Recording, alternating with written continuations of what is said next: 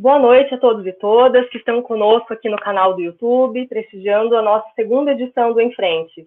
É com imensa satisfação que o Programa de Educação Tutorial, por meio do Grupo PET Políticas Públicas da Universidade Tecnológica Federal do Paraná, Campus Curitiba, recebe a todos e todas para o segundo dia do evento Em Frente, Protagonismo Feminino, feminino e Conexões, com a temática Lugar de Mulher na Ciência e Tecnologia.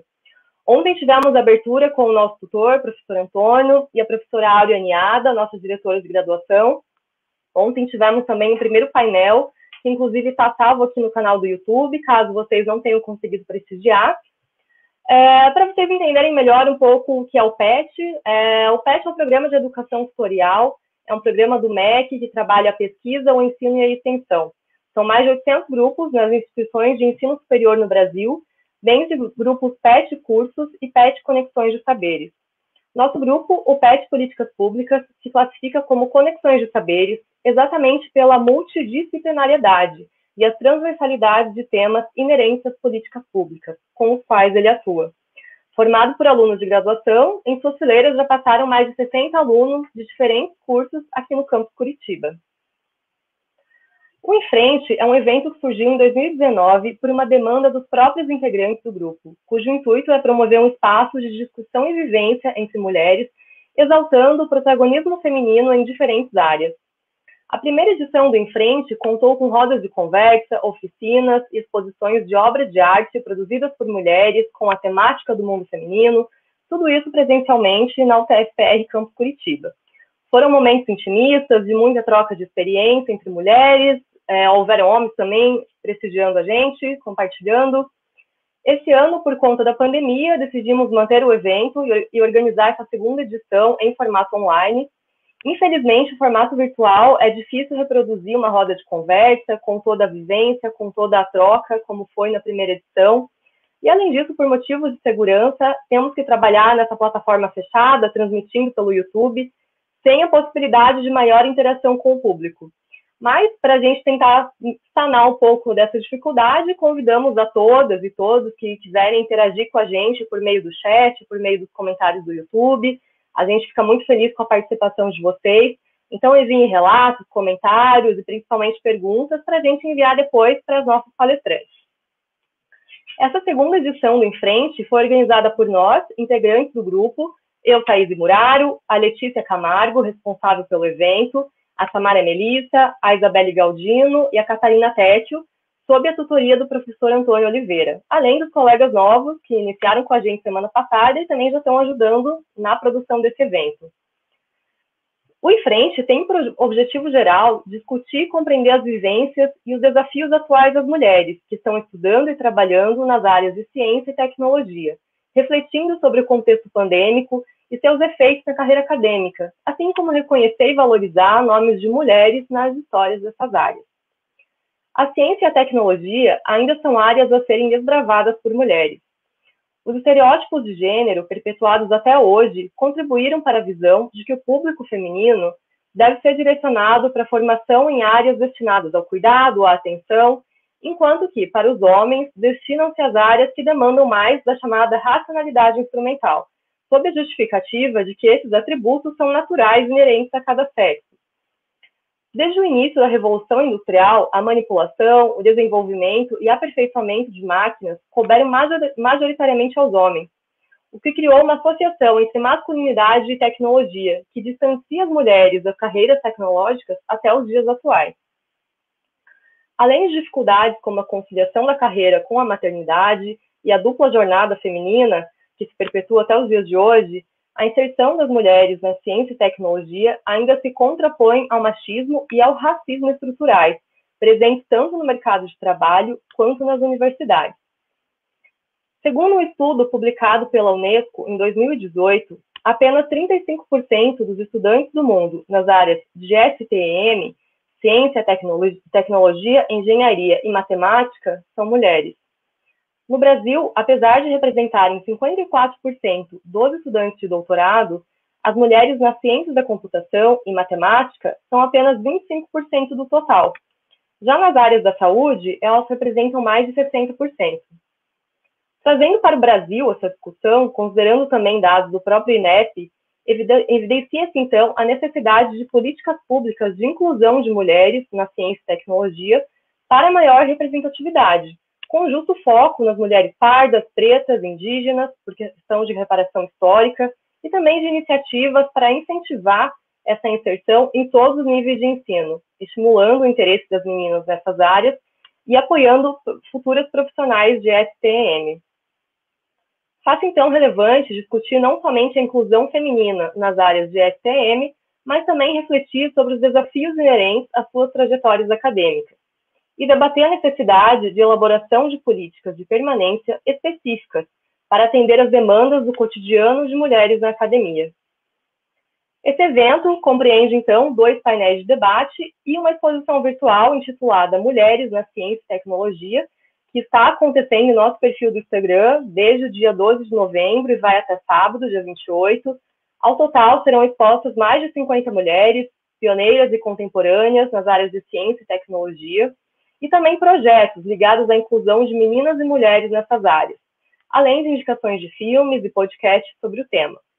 Em nossa pesquisa, há ainda muitas mulheres e projetos que não foram contemplados nessa exposição.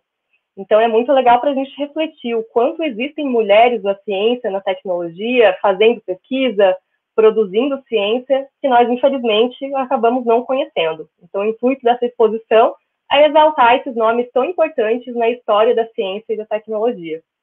O link da exposição vai aparecer aqui na tela, vai aparecer também no chat, Convidamos todos a prestigiarem, deixarem suas curtidas, compartilharem, para a gente exaltar todos esses nomes importantes. E, finalmente, dando início ao nosso evento, é, hoje teremos o um painel intitulado Avanços, Perspectivas e a Presença das Mulheres Negras na Ciência e Tecnologia. Nesse momento, é, eu chamo as nossas três convidadas aqui na tela, para a gente apresentá-las. A professora Rita de Cássia, a Agatha Serafim a Cristianara Silva. É, como painelistas na data de hoje, elas vão compartilhar conosco suas vivências, suas experiências, seus conhecimentos sobre o tema. Vamos brindar com toda a experiência aí na área, né? O objetivo do painel de hoje, portanto, é debater a realidade das mulheres negras na ciência e tecnologia, é, falar sobre a necessidade de políticas e iniciativas para sua inclusão, não só como reparação histórica, mas para o enriquecimento das áreas de ciência, tecnologia, engenharia e matemática, além de discutir o racismo estrutural, que implica em menos oportunidades no mercado e salários menores em comparação a mulheres brancas. Institucional, pois a disparidade de raça e gênero nas universidades indica que as, que as acadêmicas negras enfrentam obstáculos muito maiores do que as brancas e os homens. Esse painel vem também ao encontro do Dia da Consciência Negra, agora em novembro, sendo essencial trazer, além do recorte de gênero, esse recorte racial para o debate, dentre tantos outros recortes ainda necessários para refletirmos sobre a inclusão das várias diversidades na ciência e na tecnologia. É, como vai funcionar hoje? O tempo de fala de cada convidada vai ser de aproximadamente 30 minutos, né, até 30 minutos. Durante todo o evento, os, ouvintes podem mandar perguntas para a gente pelo YouTube, pelo chat, pelos comentários, que a gente vai passar para elas responderem depois. É, né, faremos uma interação com as nossas convidadas. Último lembrete é, para o público que está assistindo, a emissão do certificado de participação vai estar aberta a partir das 20 horas na plataforma Iven3. Então, é necessário entrar no link, fazer o cadastro até o final, confirmar a presença na atividade. É, os links vão ser direcionados aqui no YouTube também, a gente vai enviá-la no chat para vocês e também está na descrição do vídeo, certo? Então, vamos dar início ao nosso painel. É, nesse momento, eu vou passar a palavra para a professora Rita de Cássia, que vai ser a nossa primeira painelista de hoje. É, eu vou fazer aqui a apresentação da professora Rita. A professora tem é, Rita de Cássia dos Anjos, possui graduação em Física Biológica pela Universidade Estadual Paulista Júlio de Mesquita Filho, em 2007, mestrado e doutorado em Física pela Universidade de São Paulo, São Carlos.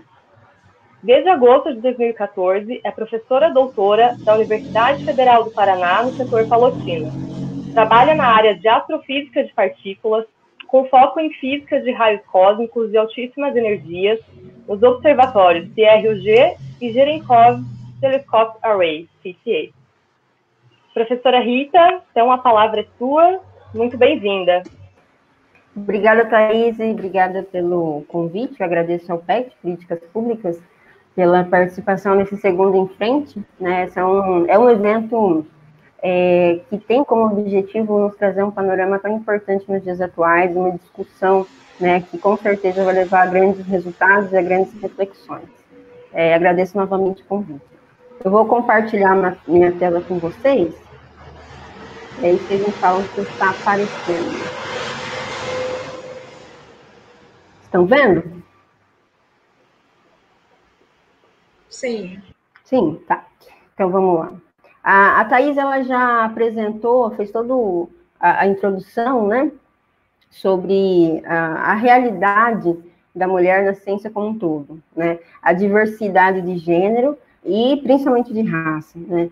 É, é interessante que uma estatística que ela mostrou, que ela apontou, é que você tem um percentual muito grande de mulheres quando você vai para área, as áreas de é, biológicas e de saúde. No entanto, o que, é, o que a estatística mostra é que quando a gente vai para os cargos superiores, né, os cargos de mais alto, é, mais alta visibilidade, a, nesses cargos você vê homens, mesmo você tendo uma maior proporção de mulheres. Então, é de fato uma diferença muito grande né, no tratamento durante todo o processo, tá? Então, eu vou discutir, falar, falar da mulher é, acadêmica negra hoje na ciência e tecnologia é você contar nos dedos, né? No Brasil a gente realmente pode fazer isso. Então, a minha fala aqui para vocês hoje vai ser uma fala um pouco mais abrangente, vou discutir essa questão, ah, por que que isso acontece, e um pouco é, das oportunidades que a gente tem visto, é, das ações que a gente tem promovido e que tem dado resultado e que a gente espera que isso, ah, no, no, no futuro, é, próximo, ações em um futuro próximo, junto, é claro, né?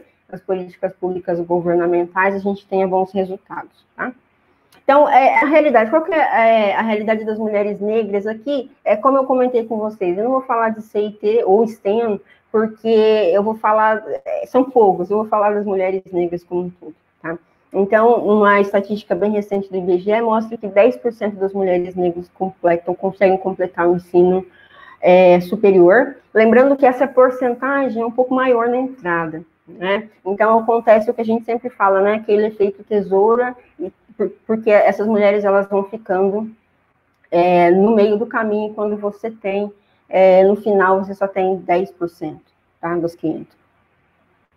É, quando a gente vai para a pós-graduação, a gente tem essa realidade, que, que é uma realidade muito drástica, né? Quando você ó, considera, quando você vê, quando você é, encontra uma professora negra que é, que é docente numa pós-graduação, isso realmente é muito raro. Né? Nós somos menos de 3%. Eu acho que eu ainda nem estou nessa, não, nem estou nessa é, estatística, porque foi em 2016. Então, veja que a porcentagem, de fato, ela é muito baixa. E aqui, por isso que eu falo, né, não dá para a gente dividir, porque ela é tão baixa que não dá para a gente é, separar aqui em camadas, tá? E quando você tem doutoras pretas docentes na pós por estado, veja, né? Você tem um número maior em São Paulo, porque é claro, você também tem um número maior de pessoas, né? A Bahia, é claro, tem uma representatividade negra muito grande, e esse número vai diminuindo, vai diminuindo, e você consegue contar é, no dedo, né?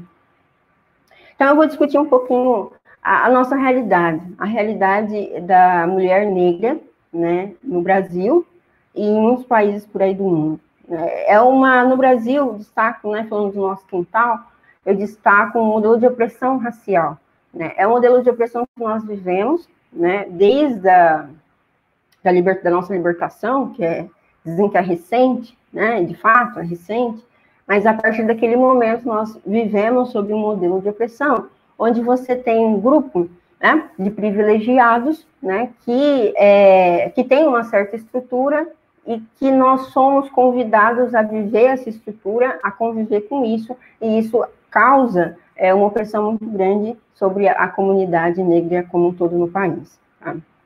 E, é, esse modelo de opressão, ele tem várias facetas, né? Tem várias consequências, como o encarceramento, né? O genocídio, né? Devido à vulnerabilidade ou à vulnerabilidade que leva a esse genocídio, uma exploração gigantesca da mão de obra negra no país. Hoje, quando a gente discute a questão, ah, home office, quem fez home office? Quem teve a possibilidade de fazer home office? Home office? Com certeza não foram as mulheres negras, né? É, nós vemos muitos casos nisso, disso na mídia, em que mostra, em que mostrou que as mulheres negras que eram empregadas, elas faleceram porque elas pegaram Covid, porque as patroas, muitas, né, chegaram da Europa, chegaram de outras regiões, e ambas pegaram, né? Aquela questão, né? O Covid ele é democrático, ele é democrático, mas ah, o tratamento não. Então você vê que é, um, é uma exploração, é uma exploração muito grande, o que leva ao empobrecimento da população negra, né, em massa. Né?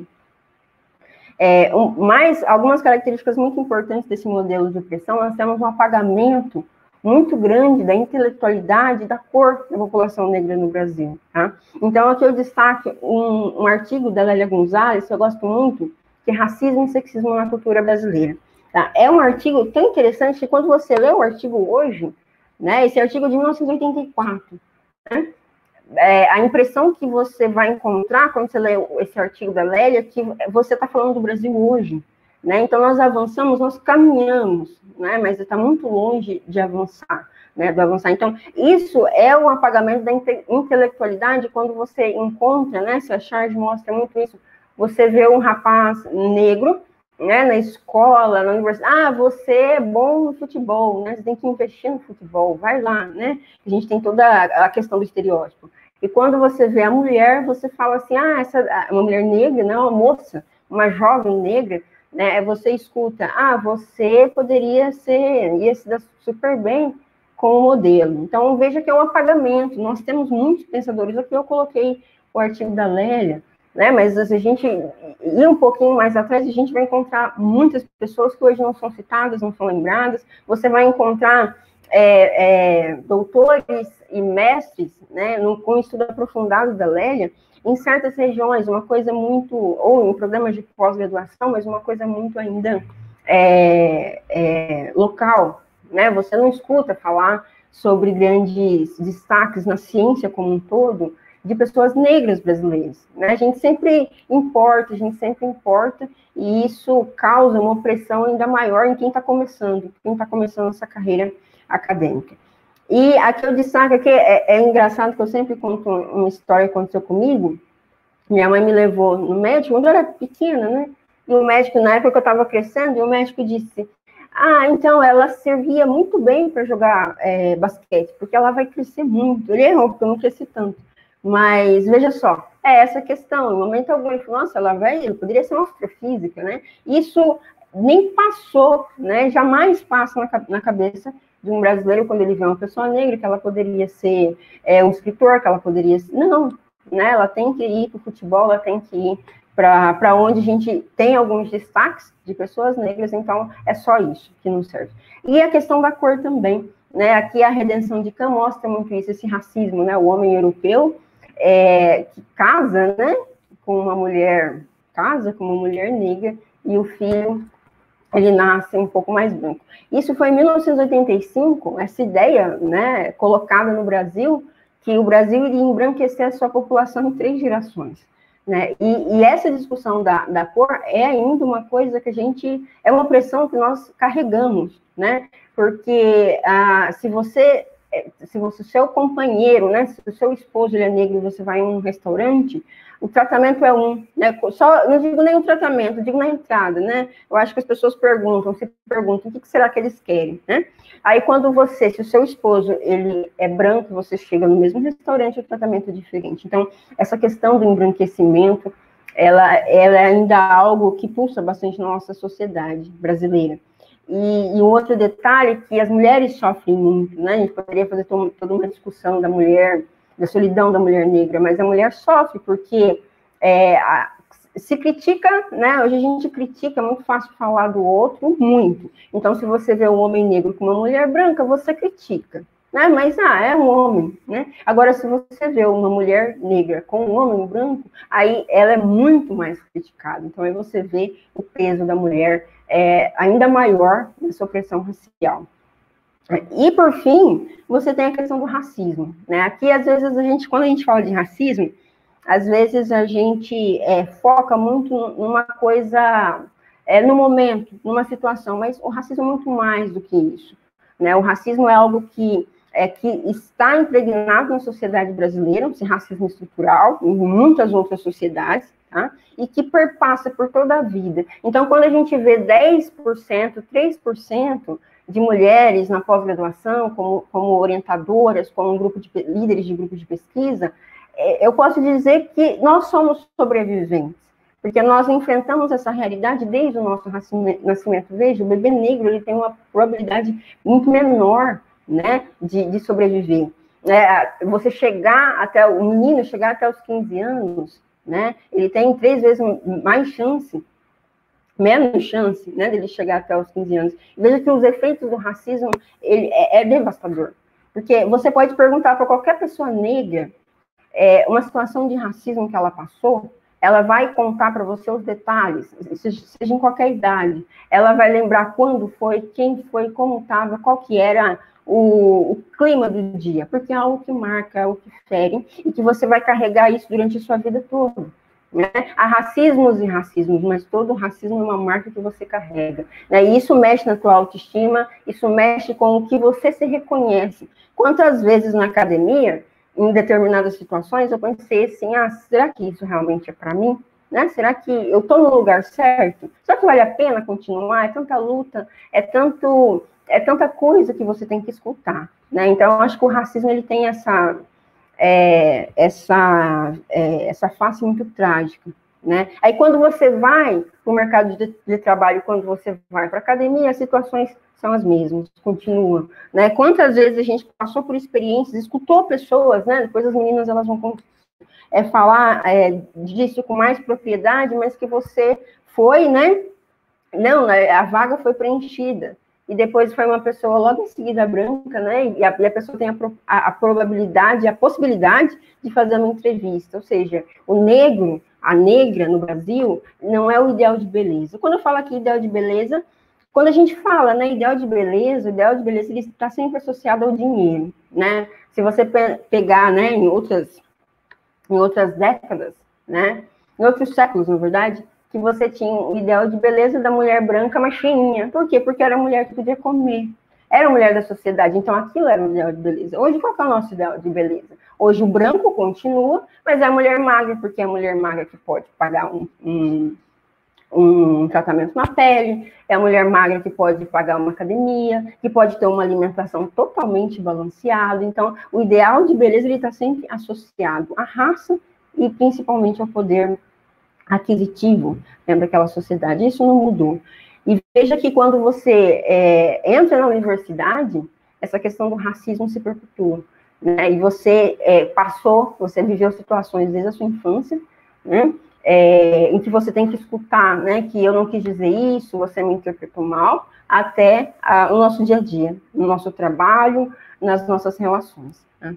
Aqui mostra, né, um gráfico bem bem simples que mostra que a mulher ela tá sempre, a mulher negra está tá sempre na base, né? Quando você vê o branco com o negro, o negro em termos de rendimento, né, é, per capita, o branco está sempre em cima, embaixo estão sempre os negros, né? Aí quando você vê o, o, abaixo do abaixo, você vai ver a mulher negra que se que é que se doa no sentido de trabalho de uma forma muito mais intensa, que ela tem a casa porque ela tem os filhos, e ela tem um trabalho, mas quando se fala em rendimento, né, é muito menor. Tá? Aqui é um outro modelo de opressão muito interessante e atual, que é o que a gente está vivendo a Covid, né? Quando você compara Brasilândia com Moema, né, em São Paulo, e você vê é, um bairro rico e um bairro pobre. Ambos morreram, morreram, a Covid é democrática, mas quem morreu mais? Né? É, isso, acho que traz uma reflexão para nós, é, porque quando você tem uma população né, americana, que mais de 250 mil pessoas morreram, no brasileiro, com mais de 160 mil pessoas morreram, isso é tão drástico.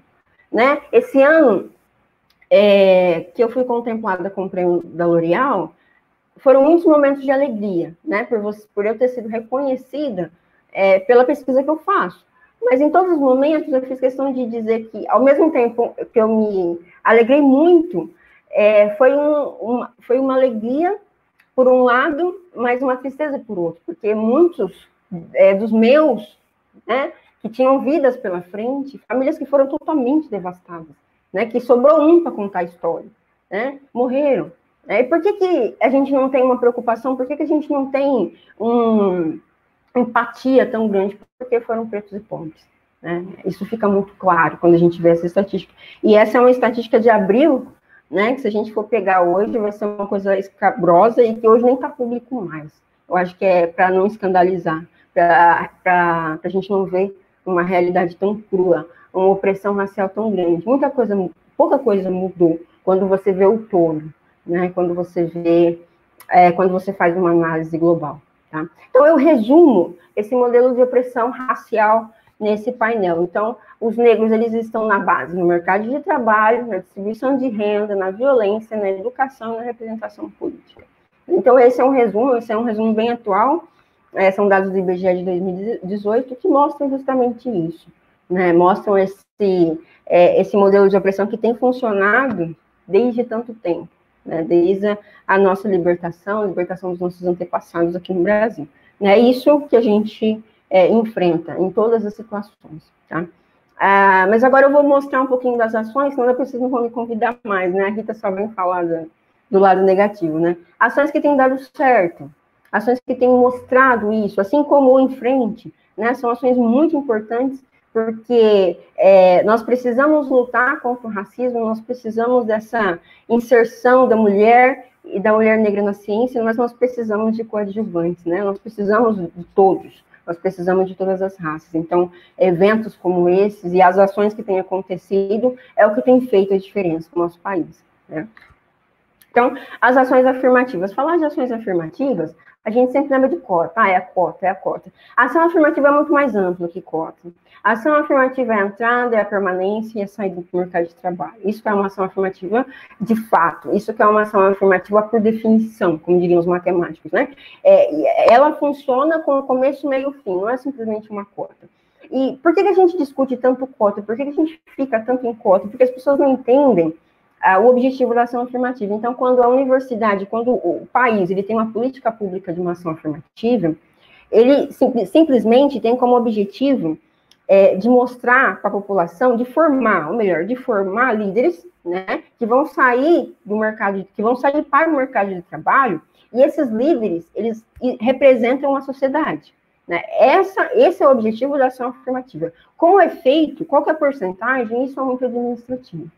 Né? Isso é, é, é, são números, é uma, tem que ter uma, uma porcentagem, né? E pronto, não é simplesmente, né? O que, o que a gente vê as pessoas às vezes comentando, ah, porque eu, eu não entrei porque eu não. Não, é ação afirmativa, é representatividade. É representatividade na entrada, representatividade durante. Então, você entra na universidade hoje, você vê uma representatividade, e a representatividade na saída. Esse é o objetivo de uma ação afirmativa. Né? Daqui a 30, 40 anos, quando você for no médico, quando você for no, no seu gerente geral, né, de, da, da sua conta, essas pessoas serão negras e isso vai ser algo muito comum né? Eu não vou ter mais um ideal de beleza, talvez continue, né, em relação ao poder aquisitivo, mas não em relação à raça, porque vai ser algo comum, né? Esse é o objetivo da ação afirmativa, né? Então, hoje, os negros, eles são a maioria. Mas veja, quando eu falo que nós temos 50%, 40% de, de, de alunos negros na universidade, isso não significa saída, tá? A saída, a gente tem que, é, esse, esse dado de 2019, nós temos que esperar ainda aí seis, sete anos para a gente ver essa porcentagem sair. Porque existe essa questão da permanência. E existe essa troca. Não, não, pera, né? Nós já fizemos ação afirmativa. Né, uma política pública do governo federal. Aí a universidade, não, espera aí, eu não sou obrigado a manter esse aluno. Então, existe essa discussão né? E, e, essa ação afirmativa ela tem que funcionar dentro da universidade. Dentro da universidade, o aluno, a aluna negra, ele tem que se sentir parte, ele tem que se sentir representado, ele tem que ter o necessário para ele poder focar apenas ali no estudo, né? Esse é, é uma ação efetiva de fato, tá? Eficiente. Então, aqui, né, é, quando a gente fala de ação afirmativa, a gente não está falando de igualdade, mas a gente está falando de equidade. O que, que os nossos alunos e alunas negras precisam, né, para eles se man manterem, né, na universidade e no mercado de trabalho. Não adianta simplesmente, ah, que bom que você formou, parabéns, vamos tirar uma foto.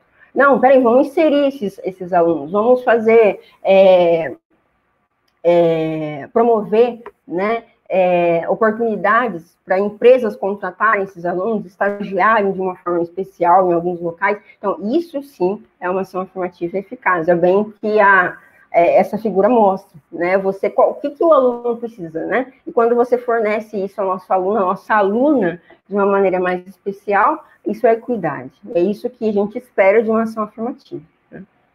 Aqui eu, eu mostro alguns projetos, né? Então, as ações afirmativas é algo, é uma política pública né? É uma política pública que tem que vir, que tem que ser discutido, e isso é muito bem feito, né? Eu acompanho alguns boletins é, disponibilizados pelo governo federal em relação à saúde, em relação à educação, e são boletins belíssimos, são muitas estatísticas, mas eu acho que tem que ter um encaminhamento, tem que ter um, uma prática efetiva para a ação afirmativa funcionar. Mas é algo que tem dado certo né? E a gente espera que continue com mais, com uma maior eficiência. E aqui eu destaco alguns projetos que são locais, né? Um projeto promovido pelo Museu da Vida, vamos ocupar nossos, nossos espaços para meninas negras. Eu destaco a professora Zélia, é, da, da Federal de Minas. É, a professora sempre trabalhou com, com meninas negras, né? E ela foi contemplada com o grant do Campus Serra Pilheira, que tem essa preocupação, isso é muito importante, tem essa preocupação de representatividade, e com o dinheiro ela vai poder fazer muita coisa. Então, esses projetos, também destaco Pretas na Ciência, que foi um projeto promovido por duas funcionárias até, duas funcionárias negras da L'Oréal, tá, a Liviana, e, e, esse, ele está sendo fomentado pela Embaixada Americana. Veja que são situações é, pontuais, né, que existe a crítica, mas porque só a menina negra, né, tem toda essa discussão, mas que tem dado resultado, né? Porque aí você vai na mídia, você divulga e as pessoas elas começam a ler, elas começam a refletir. Isso é muito importante, né? E, e são ações pontuais, mas que, que funcionam, porque eu faço uma aqui, você faz uma ali, a gente vai somando. Junto às políticas públicas, a gente realmente muda, né? E é isso que a gente espera. Então, é, eu, eu termino a minha fala falando que as ações eficientes que eu tenho visto, que têm dado resultado, eu vejo pelas as minhas alunas, são ações afirmativas contínuas, você ter, né? Falta muito ainda para a gente ter uma ação afirmativa contínua que funcione, né? Mas foi um começo, né? Estamos caminhando. É, projetos que visem, né? O, o, aumento dessa representatividade negra. Então, quando você tem um projeto para o negro, quando você tem um projeto é, que visa de fato, a, a, população negra, né, que você vai e mostra para a menina, nossa, quer dizer que eu posso fazer isso, professor? Não, sim, pode. Isso é, é, um divisor de águas na vida das nossas crianças negras, tá? em especial nas meninas. E ações de diversidade dentro dos projetos de pesquisa. Né? Hoje você tem um grupo de pesquisa em qualquer área do conhecimento, tem diversidade? Se não tem diversidade, vamos buscar essa diversidade? Porque é mais do que comprovado, né, que quando a gente fala de diversidade, é, grupos de diversidade, tanto acadêmicos, acadêmicos quanto nas empresas, são grupos que funcionam, são grupos que têm uma eficiência muito rápida. Você quer resolver um problema, você quer ter uma ideia, você quer discutir, e você coloca um IC, você coloca um pós-doc, você coloca um graduando, cada um com seu background, cada um com a sua história, isso é muito rico, isso é muito rico para a ciência, isso é muito rico para uma empresa. Né? E isso é uma coisa que, é, que já está muito consolidada na literatura como pesquisa, e eu acho que são ações que a gente pode fazer, que a gente pode, pode trabalhar. Tá? Acho que eu estourei meu tempo, mas a minha fala é essa, agradeço novamente a oportunidade.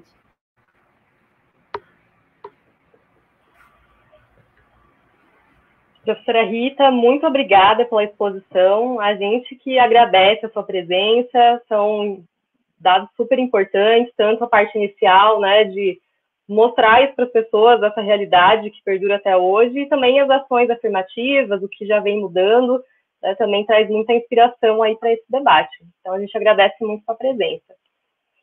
É, nesse momento, então, dando sequência aqui para o Em Frente, a gente convida a Agatha Serafim para nos brindar com suas contribuições.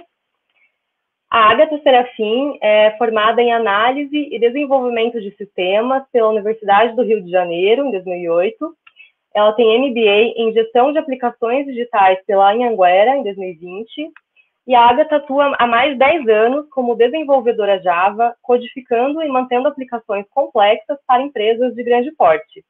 Agatha, fica à vontade, o espaço é seu.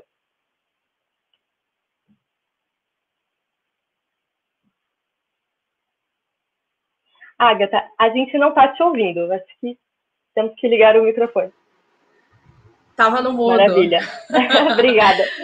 Tá bom, Thaís, obrigada. Primeiramente, eu queria agradecer né, pelo convite. Assim, fiquei muito feliz quando eu recebi. É um prazer estar aqui com vocês, falando de algo que é uma temática que não era muito abordada, né? E, e, agora, cada dia mais, tem sido realmente tratada, tem sido falado, e é muito importante que, que isso aconteça, né? Falar sobre um lugar da mulher negra dentro da tecnologia. E é, eu queria parabenizar muito o PET aí, o PET-PP, né? E a Universidade Tecnológica Federal do Paraná por essa iniciativa de vocês. Parabéns. Obrigada, a gente te agradece a presença. É, como você já, já falou aí, né, eu me formei em análise e desenvolvimento de sistemas em 2008 e esse foi o primeiro impacto que eu tive. Pode passar para o, o slide. Porque eu não tinha ainda tido é, é, contato com tecnologia, né? Eu sempre gostei muito, mas assim, conhecia muito informalmente, né? Não sabia muito bem o como era exatamente, como funcionava o mundo da tecnologia. E aí é, eu entrei em, em 2008 e aí foi o meu primeiro impacto. Me deparei com uma sala cheia, né? Eram ali eu lembro que uns 50 alunos, mas desses 50, só três eram mulheres. Então, esse foi o primeiro impacto que eu tive né, no, no na tecnologia. Eu não tinha nem ainda é, é, é, noção, não tinha ainda essa vivência que a tecnologia era, era um mundo tão masculino e tão branco, né? É, dessas três mulheres, a única negra era eu. Então, é, é é, é, foi muito importante assim para mim naquele momento é, é, olhar e entender né, que eu estava ali, mesmo que sem, sem ter antes é, programado isso, mas que eu estava ocupando um lugar ali que era realmente um diferencial, né? Pode passar o slide. É... Então, assim, o que, que eu queria falar? Hoje. É, por que, que a gente precisa falar sobre, sobre esse avanço né, das mulheres na tecnologia, as, as perspectivas, a presença da mulher realmente na tecnologia? É muito interessante porque, por diversas vezes, às vezes, conversando com, com colegas e, e, e conhecendo pessoas de, te de tecnologia, quando eu falo que eu sou desenvolvedora, né, que eu trabalho com desenvolvimento, com Java, já por diversas vezes eu vi olhares assim, é, é, você vê de espanto, né? E algumas vezes as pessoas até falam realmente, mas nossa, eu nunca conheci uma mulher ou uma mulher negra trabalhando com Java. É, então, assim, a gente vê que essa é a realidade, né? É um espaço que realmente não é ocupado pela mulher. Então, é, a partir do momento que a gente começa a falar sobre isso, a gente começa a pensar por que, que a mulher negra não ocupa esse espaço hoje. Né? Nesses 12 anos aí de formação, é, eu já vi muito esse cenário mudar. É, hoje eu participo de alguns grupos, né, de mulheres negras que trabalham com tecnologia. Quando eu encontrei esses grupos, foi, na minha opinião, assim, um achado, né, porque eu não sabia realmente que, que existiam mulheres é, é, como eu trabalhando com isso.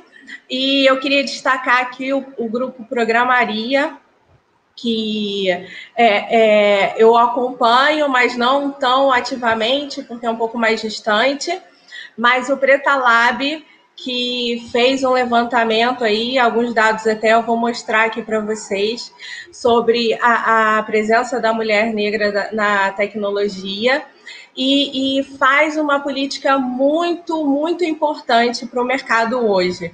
Né? Eles têm é, é, grupos é, em algumas redes sociais eles não só incentivam o estudo, como divulgam também vagas de emprego e têm trabalhado muito com as empresas é, nesse intuito de criar vagas é, para mulheres negras. Né? Então, é um, é um trabalho que é fundamental para incluir a mulher negra nesse mercado. É, recentemente, eu participei de um, de um grupo é, de estudo, né, de aperfeiçoamento, que também era exclusivo para mulheres.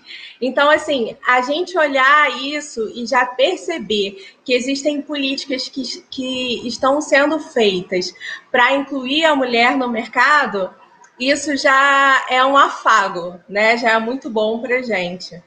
Pode passar o slide.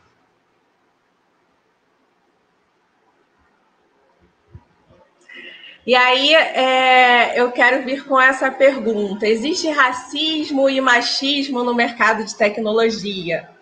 É, muitas vezes a gente conversando, é, falando com, com outros profissionais, tocando, né, falando sobre essa temática, alguns falam, mas você já sofreu racismo? Mas como assim? Né? Que tipo de racismo você já sofreu? E aí eu estava vendo é, há algum tempo uma declaração do Roger Machado, ele é ex-técnico do Bahia, né, técnico de futebol, e é, ele estava falando algo que aquilo eu me encaixei completamente na fala dele, né?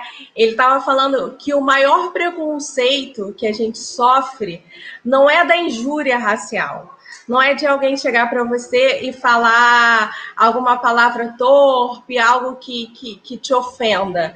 Mas o que eu entendo como o preconceito que a gente sofre hoje é olhar para uma equipe que eu trabalho, né, ou equipes que eu já trabalhei de 10, 12, 20 pessoas e eu ser a única mulher negra.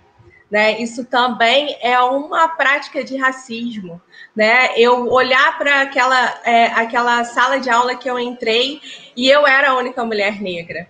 Então, é, isso é algo que realmente é, mostra que o racismo que a gente que a gente vive hoje, como falou a professora Rita aqui, é, muito bem, não é um, um, racismo de injúria, mas um racismo estrutural e um racismo velado, né? E você pode passar para o próximo slide? Eu vou responder essa pergunta, né? Existe racismo, existe um machismo no mercado de tecnologia com esses números, né? Eu não quis botar muitos números, mas para a gente realmente debater sobre o tema, mas é, são números impactantes, né? As mulheres negras elas representam 20%, 20%, 27% da população brasileira, mas apenas 10%, né? 10,4% das mulheres, das mulheres negras tem ensino superior completo. Ou seja, a gente está perdendo aí 90% né, de, dessa, dessa população de mulheres negras sem conseguir completar o ensino superior completo. O percentual de mulheres brancas com ensino superior completo é duas vezes maior do que o de mulheres negras. Né? Então, é, é, a, a, as mulheres negras, elas hoje, elas ocupam sempre os piores índices do nosso país. Né? Então, assim, é, é, ser mulher, a gente já sofre um preconceito muito grande. Sendo mulher negra, esse preconceito ele é muito maior. Pode passar o slide. Tem mais alguns números aí. É, é, Estima-se que nos Estados Unidos apenas 2% da força de trabalho em todo o universo da ciência e engenharia seja de mulheres negras, ou seja, 2%. E no Brasil, esse dado sequer existe. né? Então, é, é, é, é um percentual tão pequeno que ele não que, que ele não, não teve como é, é, fazer essa, essa medir isso, né? A gente não consegue é, tirar esse dado. É, então eu acho que assim essa realidade é a principal resposta para a pergunta. Né? Existe o racismo? Existe o machismo? Sim. Por quê? Porque a gente tem hoje a ausência da mulher negra nesse espaço. Pode passar o, o slide. O que, que nós podemos fazer para mudar esse cenário, né? O cenário atual que a gente vive. É, a gente conhece essa realidade, a gente sabe que a mulher negra está dentro desses índices, e aí a gente precisa partir para uma ação. Né? A gente não pode olhar essa realidade, ver essas estatísticas, sentar, conversar sobre isso e não agir. Né? Então, o que, que a gente pode fazer? Pode passar o próximo. eu vou falar um pouco do que eu considero esse processo de mudança da realidade que a gente vive hoje. E eu acho que a primeira coisa é a representatividade, não tem jeito, né? Eu fiquei acompanhando né, todo, todo esse período que o PET-PP estava compartilhando ali né, na página do Instagram. E assim, você olhar essas mulheres é algo muito inspirador né? Eu vejo aqui, eu tenho um filho de cinco anos e eu gosto de desenho, assisto sempre com ele, mas até devido às, às, às, às práticas né, do dia a dia, a correria, realmente, eu não consigo é, é, acompanhar sempre, né? Então, às vezes, ele vê um desenho ou outro que às vezes eu não acompanho. E esses dias ele falou para mim assim: mãe, eu sou o, o Homem-Aranha, mas eu sou o Miles Morales. E eu não sabia quem era o Homem-Aranha, Miles Morales, eu não sabia. E eu falei, tá bom, filho, mas fiquei curiosa com aquilo. E aí eu fui no Google, né, pesquisei Homem-Aranha, Miles Morales, e aí me veio a foto, né? O Miles Morales, ele é o, o, Homem-Aranha que, novo, né? Não, é, recente, que é um Homem-Aranha negro latino.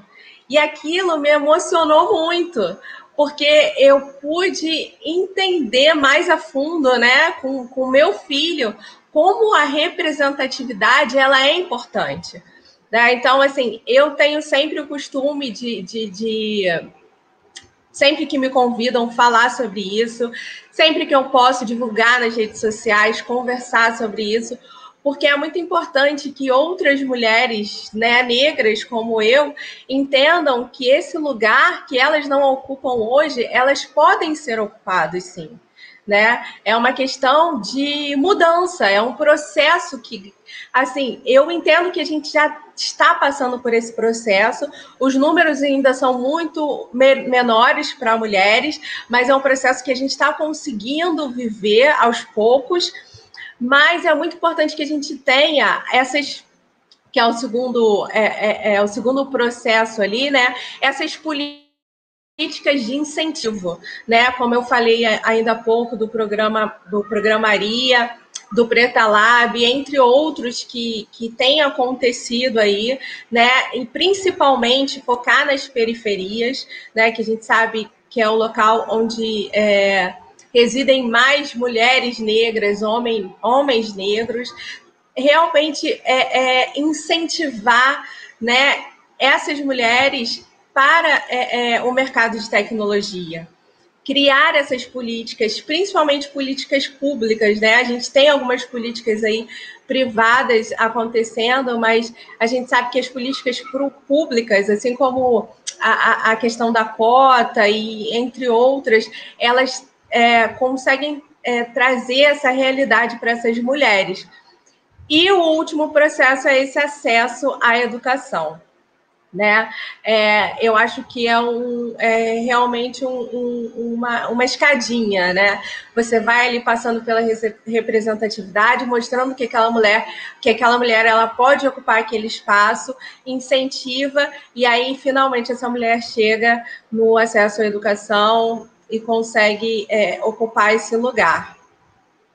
É, pode passar para o próximo.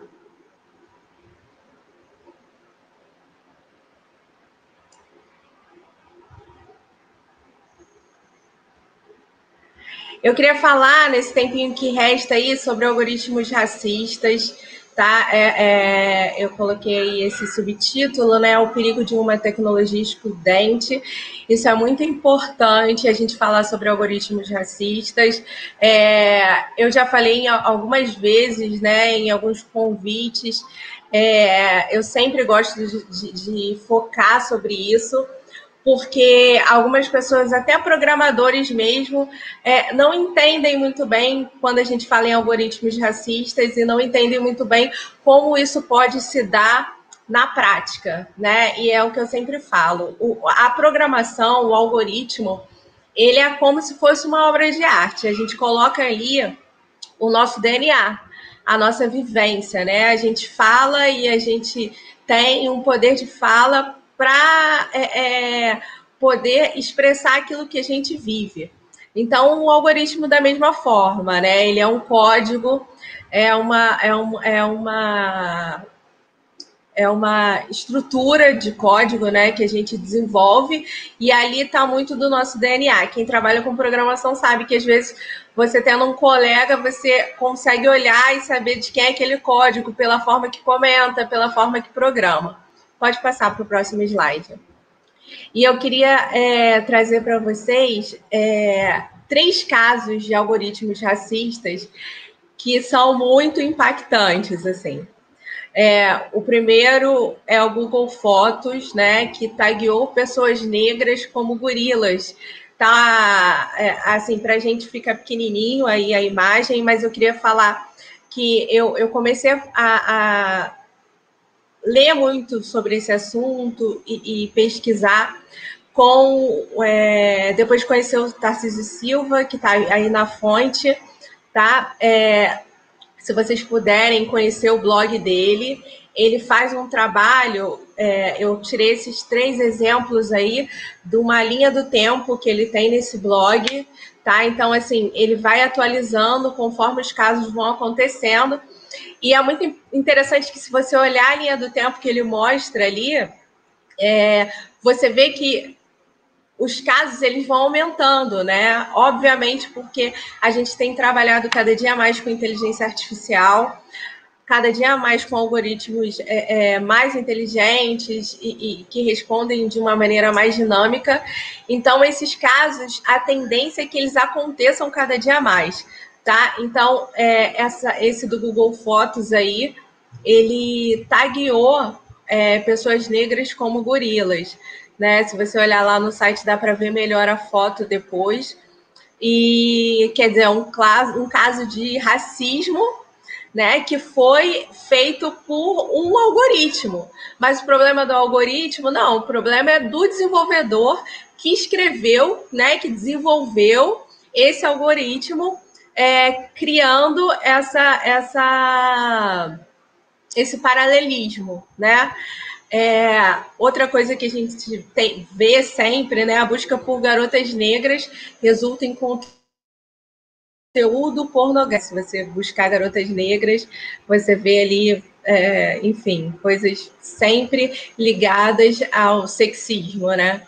Então, é um ponto, assim, muito importante também que a gente vê que é algo muito cultural, né? E que realmente é uma cultura racista e que precisa ser quebrado. O Instagram vê armas e violência em ilustração com garoto negro. Esse também é demais. É um, foi um, foi um, um, uma ilustração feita em homenagem ao Hamilton, né? É, aparece a imagem dele ali atrás, e o, um garoto com um carrinho de rolimã o garoto é negro, dá para ver que o, que o ambiente ali é um, é um ambiente de, de uma periferia, né, de uma favela, mas em nenhum momento existe arma e violência nessa imagem. E quando o autor da ilustração ele foi tentar é, colocar, ele colocou essa imagem no Instagram e foi tentar é, colocar para outras pessoas, né? Criar aquele marketing que o Instagram faz, o Instagram não autorizou essa imagem, porque disse que a imagem continha armas e violência. E a imagem é de um garoto negro numa periferia, né? Pode passar para a próxima. E aí eu, é, é, é, eu vi uma, uma, uma imagem esses dias falando é, sobre a semelhança né, dos cadernos, assim, é, que a gente fazia ali, que era uma prática sempre das meninas colocarem os cadernos sempre mais caprichados, mais coloridos, e como isso tem semelhança com a codificação, né? nesse, nessa tela aí do computador, para quem não tem muita vivência com, com, codificação, isso é uma tela, né? É um código de, de programação, é um algoritmo, né? E é, eu até coloquei aqui, qualquer semelhança é mera coincidência. Por que esse lugar ele não pode ser ocupado por mulher, né? Por mulheres negras? Pode sim.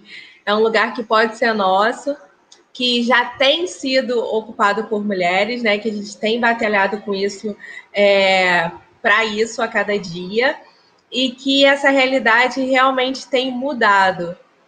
Pode passar. E eu queria colocar aqui é, que lugar de mulher negra é na tecnologia, sim. Né? É, a gente tem aí é, pleiteado a favor disso. Então, assim, a mensagem final que eu queria deixar é para quem estiver assistindo, for assistir esse vídeo e que se identificar com tecnologia. No próximo slide tem, pode passar o próximo, tem meu agradecimento. Tem também é, meus contatos aí de Instagram, LinkedIn, meu e-mail. Então, assim, se você quiser se você for mulher, não conhece muito ou quer tirar dúvidas, falar sobre esse universo da tecnologia, é, vai ser um prazer para mim estar tá conversando, estar tá, é, é, incentivando né, outras mulheres. Eu, eu gosto muito de fazer isso, porque a maioria das mulheres elas não conseguem se ver nesse papel. E isso é totalmente cultural, né? A gente pode ocupar esse papel sim esse papel é nosso, esse papel é meu, esse papel é seu. Tá? Muito obrigada aí pela, pelo tempo, pela, por poder compartilhar com vocês aí essa minha vivência. Agatha, muito obrigada pela exposição, foi muito enriquecedor. É, mais um momento aí de né, a gente ver essa realidade. Sua fala é uma inspiração, principalmente para as meninas, para as meninas negras, né, que às vezes tem esse receio de entrar na tecnologia. E você né, finalizar com essa frase, o lugar de mulher negra na, na tecnologia é, é, realmente super inspirador. Né? A gente fica muito feliz de ter você aqui com a gente hoje. Obrigada mesmo pela sua participação. Eu é... que agradeço. Obrigada, Agatha. É, vamos dar sequência agora aqui no evento. É, Vou passar um recado aqui para quem está nos assistindo. É, a partir de agora, às 20 horas, a lista de presença está liberada, então é só fazer o cadastro lá no Even 3, tá? O link está na, na, descrição do vídeo e também nos comentários do chat. É, a gente está tendo vários elogios lá nos comentários, então né, muita gente já está mandando pergunta. Continue mandando, aproveitem aí a presença das nossas convidadas para tirar todas as dúvidas de vocês. E dando sequência, agora convido a Cristianara, Cristianara Silva, para compartilhar a sua experiência conosco. É, a Cristianara é engenheira civil, trabalhou com planejamento urbano. Hoje ela é estudante de comunicação organizacional e trabalha com comunicação interna na Celepar. E além disso, é petiana, já trabalhou com a gente aqui no PET-PP. Nossa colega, é um prazer você estar aqui de volta com a gente, agora compartilhando a sua experiência. Cris, fica à vontade, o espaço é seu. É, primeiramente, boa noite a todo mundo. É, eu agradeço o convite de ter a oportunidade de falar um pouquinho das minhas experiências, né, é, sobre esse assunto tão interessante e tão importante, que é falar sobre o papel da mulher, tanto na ciência quanto na tecnologia, principalmente da mulher negra, né. É, então, é, as outras duas palestrantes, a Rita e a Águeda, elas trouxeram dados muito é, importantes, né, e reais sobre a nossa realidade, e eu vou trazer um pouquinho das coisas que eu vivi na prática, né? Quando a gente fala desse assunto que é sobre é, o racismo e a representatividade da mulher, no caso, é, no campo da tecnologia, né? É, bem, então, assim, eu sou engenheira civil, foi muito difícil eu conseguir me formar em engenharia civil. É, eu lembro que essa inspiração para ser engenheira civil ela veio de uma professora que eu tive no ensino médio, e era uma professora negra, que era engenheira, né? Então, eu lembro que ela virou para mim um dia e falou assim: "Nossa, você vai ser uma boa engenheira". E eu cresci num ambiente onde é, pensar em estudar, pensar em, em fazer uma graduação, em seguir uma carreira acadêmica, era quase que utópico. Né? Então, eu não tive muito incentivo da minha família. E, mas naquele momento, quando ela falou aquilo para mim, parece que acendeu uma, uma luz na minha cabeça. Eu falei, eu quero ser engenheira. E eu vou ser engenheira. E daí eu lembro que eu até falei com, com algumas pessoas da minha família sobre que eu queria fazer, seguir a, a área da engenharia. E a resposta que eu tive era sempre: isso é coisa de homem, né? E você não nasceu para estudar. Basicamente isso. Naquele momento eu decidi, eu falei, não, eu nasci para estudar e eu vou provar para todo mundo que eu posso estudar. E daí eu corri atrás, né? É, como eu disse, eu não tive um incentivo familiar, eu, então eu tive que correr atrás de meios para poder estudar. Então eu consegui minha, minha bolsa. Então inicialmente eu consegui uma bolsa de engenharia química, né? E quando eu cheguei na faculdade, com muito custo eu consegui chegar nessa, nessa primeira experiência minha de graduação, ali já foi o primeiro choque que eu vi, assim, né? É, quando eu entrei na sala, que eu olhei, é, não tinha ninguém negro. Não era nem mulher, não tinha ninguém, nem homem nem mulher, né? Então ali eu já, eu já vi que a realidade ela seria dura, né? E então, é, naquele momento, eu, eu pensei assim, realmente a luta para a mulher negra, né? Ela é muito maior. E infelizmente eu não consegui concluir essa graduação, é, porque eu não conseguia trabalho e eu precisava trabalhar para me manter. Então, é, remetendo bem ao que a Rita falou no início, né? É, muitas vezes entra, a gente consegue entrar, mas a gente não consegue sair. Então, nessa primeira experiência eu não consegui ficar, né? Então, mas eu não desisti. Eu corri atrás de novo, eu consegui uma outra bolsa e quando eu entrei na sala novamente, é, não tinha pessoas negras na sala. Não tinha pessoas negras na sala.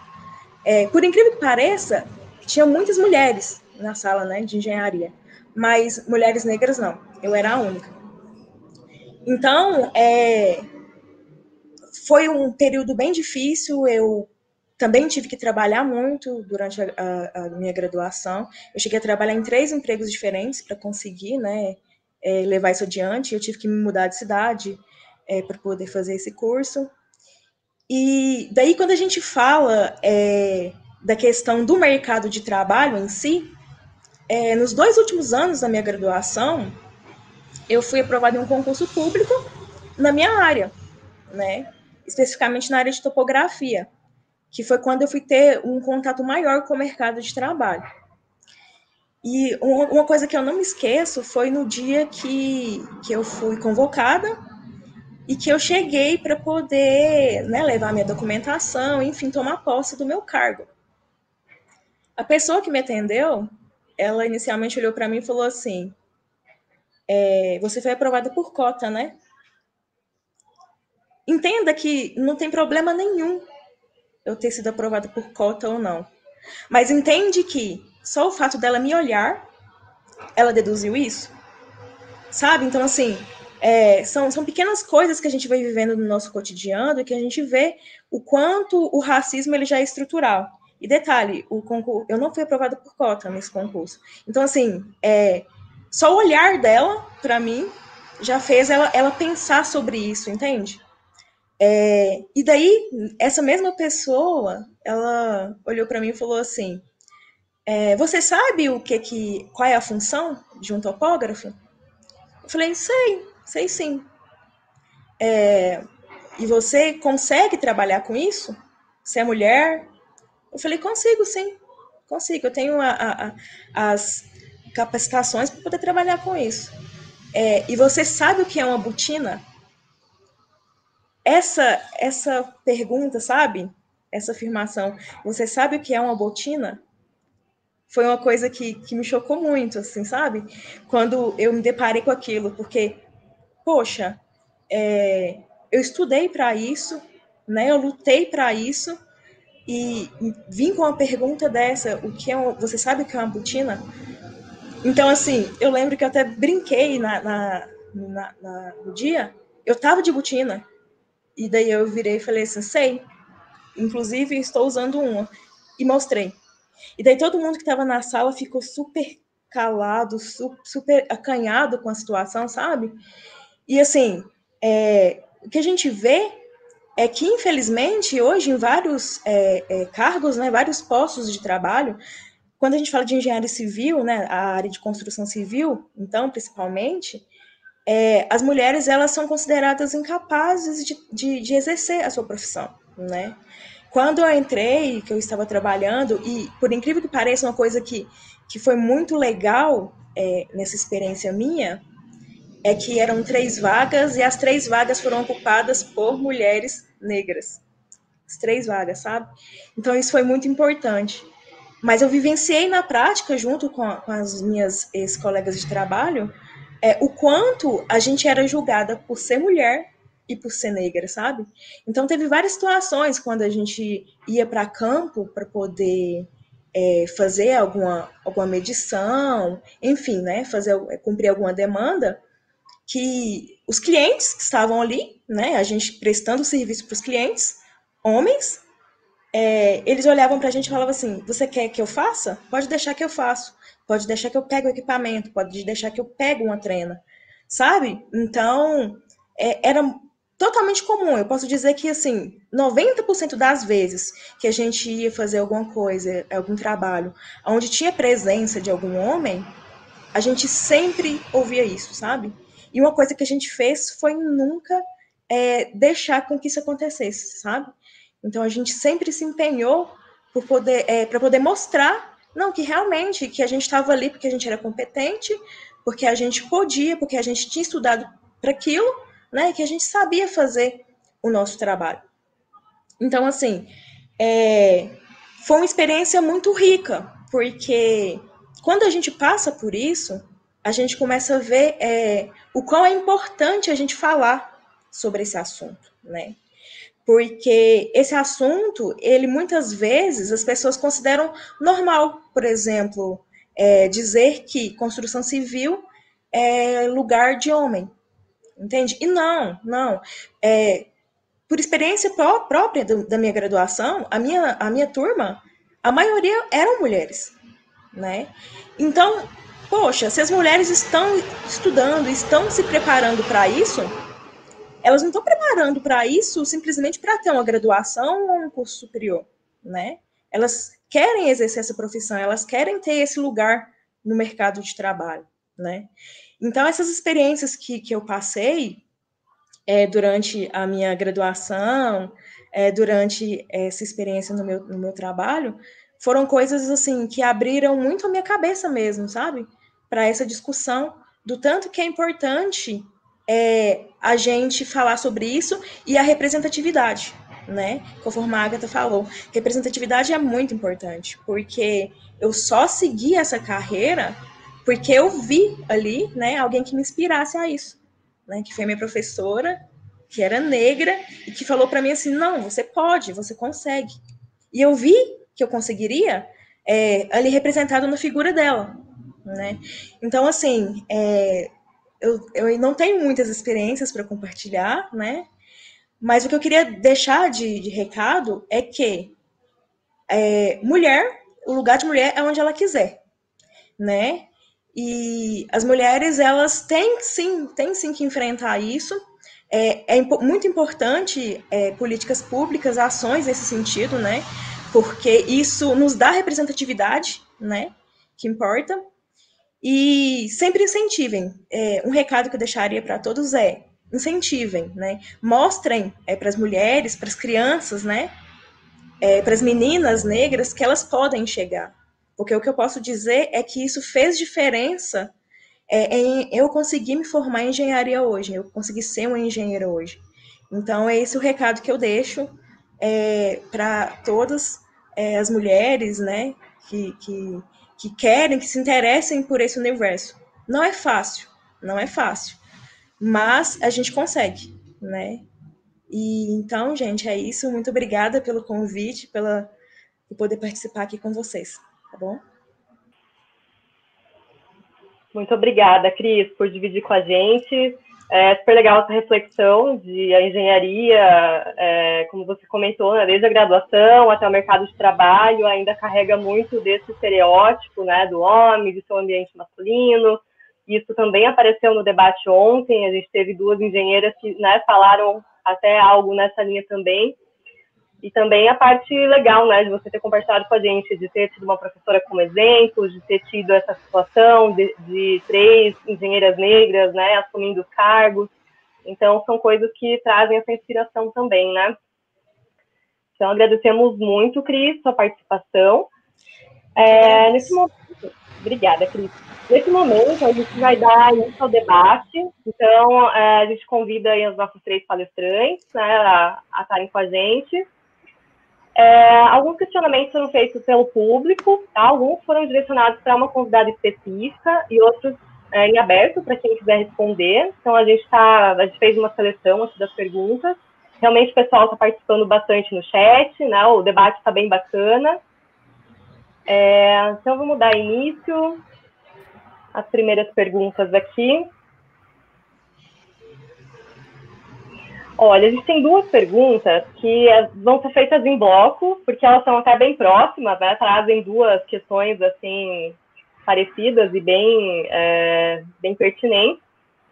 A primeira é a seguinte, a Naara pergunta, é, a primeira ela diz, parabéns pelas conquistas, e ela complementa, vocês tiveram muito apoio emocional ao longo do processo por parte da família? E a gente tem uma outra pergunta que diz assim: é, você sofreu algum tipo de preconceito quando escolheu sua área de atuação profissional, entre família, colegas ou professoras? Então, as perguntas estão em aberto. Quem quiser começar a responder, podem ficar à vontade.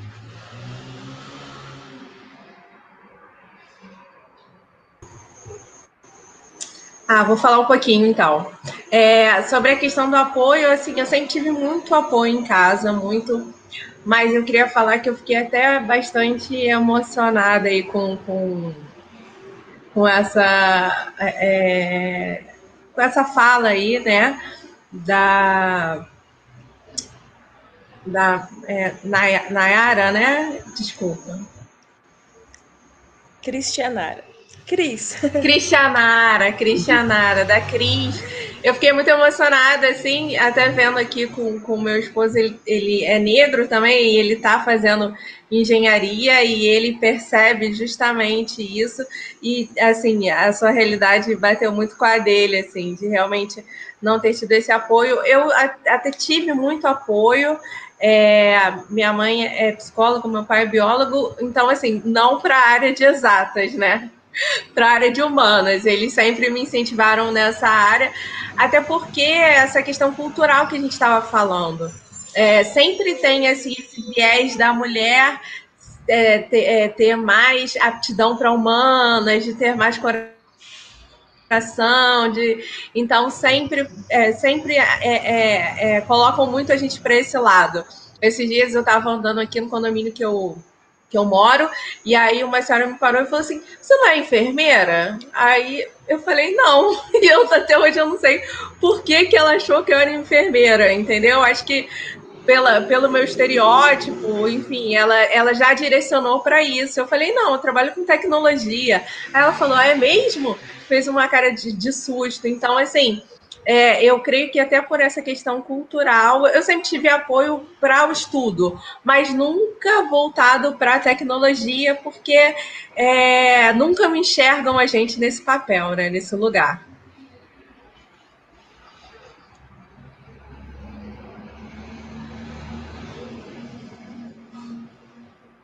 Bom, vou responder então. É, falando desse apoio, comentando esse apoio, eu sempre tive muito apoio da minha família, é, em especial da minha mãe, para essa a área da ciência. E eu, e eu ouvindo né, a Agatha e a Cristiana falarem, é, descreverem um pouco da história delas, eu percebo como que a representatividade é muito importante na nossa vida, né? E isso começa em casa, né? Quando você tem uma família que te incentiva é outra coisa, é outra história, você tem um respaldo, né? Isso é muito importante. E quando a gente faz uma análise do nosso país, a gente faz uma análise da nossa população negra, das nossas famílias negras, é, a gente pode se perguntar, né, quantas crianças que têm esse incentivo em casa para a ciência, né, tem possibilidade, né, e a gente sabe qual é a resposta. Por isso que eu sou muito incisiva e chata em, em, em falar do investimento na educação básica, porque às vezes o aluno ele tem aquela aptidão para exato, ele gosta daquilo, mas em casa ele não tem estrutura. A única, talvez a única possibilidade que ele vai ter de é, visitar um museu, de é, olhar o céu com um telescópio mais simples que seja, vai ser na escola, né? Só que aí quando você vê a estrutura da escola pública hoje, que é um, uma estrutura conteudista, né, os, os nossos alunos não têm essa, essa possibilidade, essa é, essa oportunidade, né? Então veja que a representatividade é tudo, né? E nos acompanha durante todo o nosso processo, né? De fato.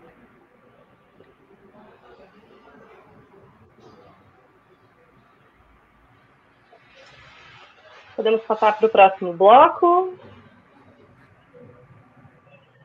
É, tem duas perguntas aqui que chegaram, bem específicas para a Agatha. É, na verdade, a Naara ela mandou um comentário, né? Ela falou o seguinte: os algoritmos de alguns aplicativos realmente só reforçam o machismo e o racismo, ao invés de nos ajudarem.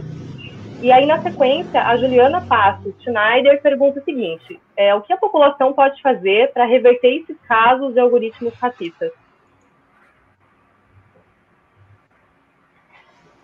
Sim, sim, é isso mesmo, Mara. Assim, a gente tem diversos, tá? São N casos. É o que eu falei, assim, recomendo mesmo o pessoal que queira saber mais sobre isso, entrar lá no, no, no blog do Tarcísio. É, pode me procurar aí nas redes sociais que eu passo é, é, o link, enfim, os dados porque é, é, tem um, um caso de, de procura por é, mulheres bonitas, não aparecem mulheres negras, né? Uhum. Procura por homens bonitos, são sempre homens brancos. É, e aí o mais importante, assim, o, é, o, a pergunta da Juliana de como a gente pode reverter eu, eu acho que eu realmente esqueci de falar desse ponto lá, porque isso é o mais importante, né? Que é o que eu falei, a gente sabe que a gente tem essa realidade, mas a gente não pode sentar e chorar, a gente tem que é, levantar, agir para que essa realidade mude. Como que a gente pode reverter isso? Colocando negros na tecnologia. A única forma que eu posso ter de criar um algoritmo, de, de é, colocar esse desenvolvimento para não ser racista, e assim, não é nem colocando só negros, não, é incluindo realmente a diversidade. Tem caso do, da, da, da, da de câmeras que não identificam rostos de pessoas asiáticas. Né? Então, assim, se você não tem essa representatividade dentro da tecnologia, você não consegue criar algoritmos que são para uma população tão diversa como, como a gente tem aqui no Brasil, né? Falando aqui do nosso povo. A gente não consegue criar isso. Então, a única forma que a gente tem de mudar isso é incluindo os negros na tecnologia.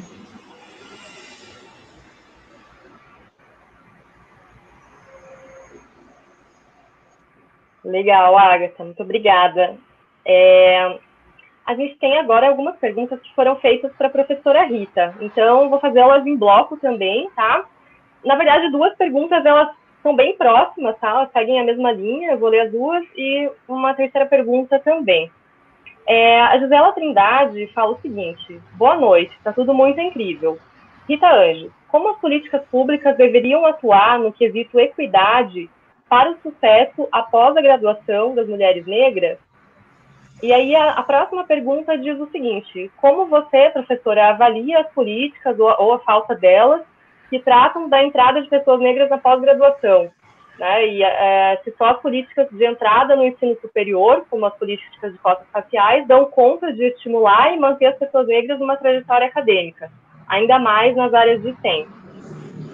E aí a tá. terceira pergunta, é, hum. só complementando aqui, ele diz o seguinte, professora, você pode compartilhar conosco um pouco da sua vivência na pesquisa no exterior, você, é, como você avalia a presença das mulheres nas áreas de STEM em outros países que você conheceu? Tá. É, ok, Thais. É, falando, respondendo as duas primeiras perguntas, que são um pouco é, relacionadas, né, mais relacionadas, é, quando a gente fala de ação afirmativa, o que eu penso, né, de ação afirmativa e o que eu sei, vendo em outros países que funciona, é justamente essa possibilidade, esse acompanhamento, né, a entrada, a permanência, a saída. Quando aconteceu o que aconteceu com a Cristianara, por exemplo, né, ela entrou, mas o que ela precisou ali, no sentido de equidade, ela não teve, né. É, mas quando você termina a graduação, o que, que, que a política, né, o que, que a ação afirmativa precisa fazer?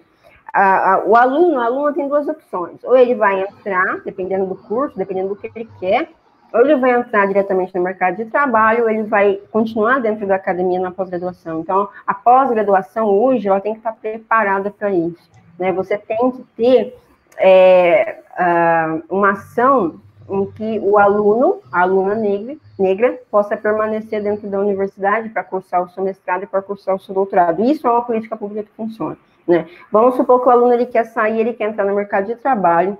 Esse trabalho, esse direcionamento vai ser feito também pela política pública. Eu acho isso, de fato, iria funcionar. Porque depois o aluno sair, ele vai passar por situações como a Cristianária passou. Mas veja, é, ela passou por uma, uma situação e ela já estava concursada. Tá? Se ela não tivesse concursada, ela fosse simplesmente uh, uma entrevista, ela não iria ser contratada. Né? Então, por isso que a, a, a, política pública ela tem que continuar até a entrada, para isso se tornar algo comum.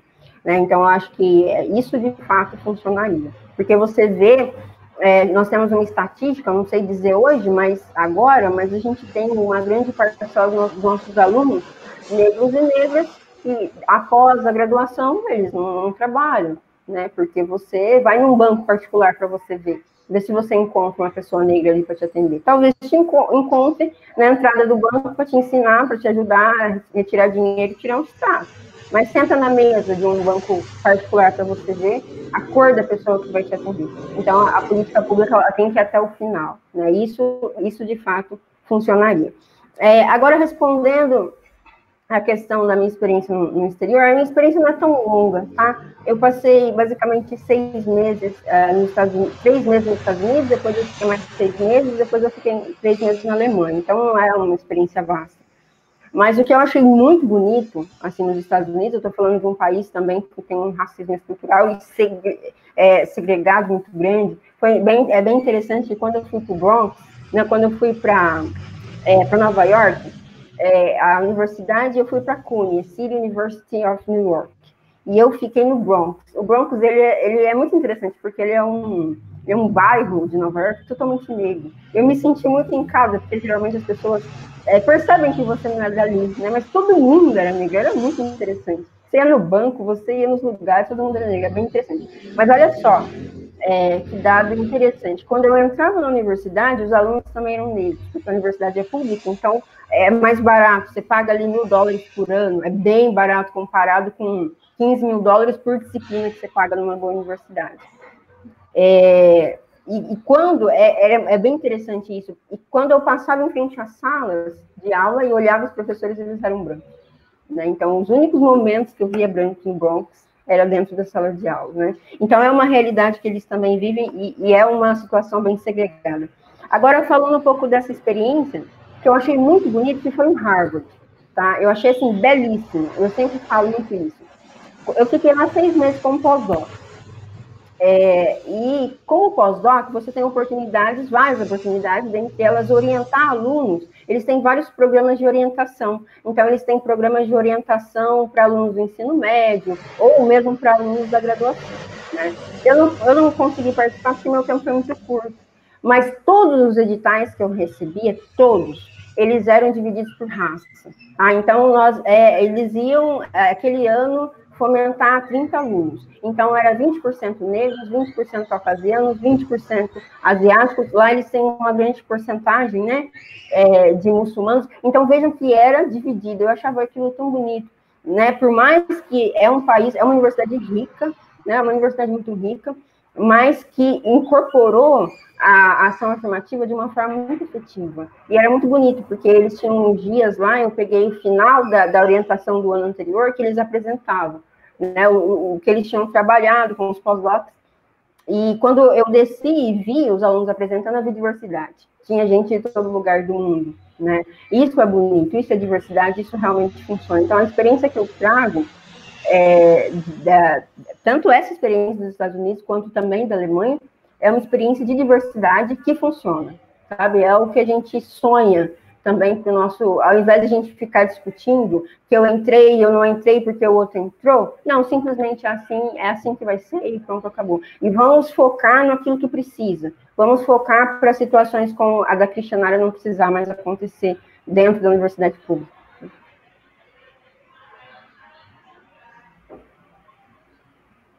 Perfeito, professora. É, chegaram mais duas perguntas aqui que são destinadas para a Cris. É o seguinte, a, a, Thalita Ribeiro, ela comenta assim, boa noite e parabéns pelo belíssimo evento. A Cristianária destacou a influência da professora uh, na escolha da profissão. E aí ela pergunta para a Cris como podemos estimular a sororidade dentro do ambiente acadêmico e profissional. E tem uma segunda pergunta também para a Cris, que diz assim, você que tem a vivência, a experiência da vivência na engenharia, e agora na comunicação, como você avalia a diferença entre as áreas é, com relação à presença dos marcadores de gênero e raça? Bom, é, respondendo a primeira pergunta, então, eu acho que o mais importante quando a gente fala de, de da representatividade, de estimular a sororidade, é justamente é, todos entenderem e, e é, entende-se por todos, principalmente as pessoas que ajudam a formar opinião, que no caso, por exemplo, são os professores, de que aquilo que eu falei inicialmente, que o lugar da mulher é onde ela quiser. Então, muitas vezes, a gente vê que, às vezes, é, a própria profissão em si, ela traz aquele peso de que ou ela é de um gênero ou ela é de outro gênero, né? Então, quando a gente fala de representatividade, ela por si só não basta. Porque, por exemplo, é, a minha professora, ela falou para mim, olha, você vai ser uma boa engenheira, sabe? Ela me estimulou, ela me mostrou que eu poderia ser engenheira, que aquela profissão, ela cabia para mim como mulher, sabe? Então, eu acho que esse exercício tem que ser feito. É, você utilizar essa sua representatividade, né, essa, essa sua importância que você tem para poder ajudar na formação de opinião das outras pessoas, da maneira mais ampla que você puder, né? Então, o quanto mais você fizer isso, né? Quanto mais a gente fizer isso, porque hoje você chegar para uma, uma menina, para uma criança, uma menina negra, e falar com ela assim: olha, não, você pode ser engenheira, e, e se você quiser, você pode entrar no, na faculdade, pode fazer um mestrado, pode fazer um doutorado, pode seguir a sua carreira acadêmica, sabe? E, e, e mostrar para ela que ela pode fazer isso, eu acho que é muito importante. Talvez mais do que só é, a imagem em si, sabe? A representatividade em si. Acho que esses diálogos são importantes. Por isso que eventos como esse são muito importantes, né? Que isso dá, dá oportunidade é, para que a gente fale sobre isso, né?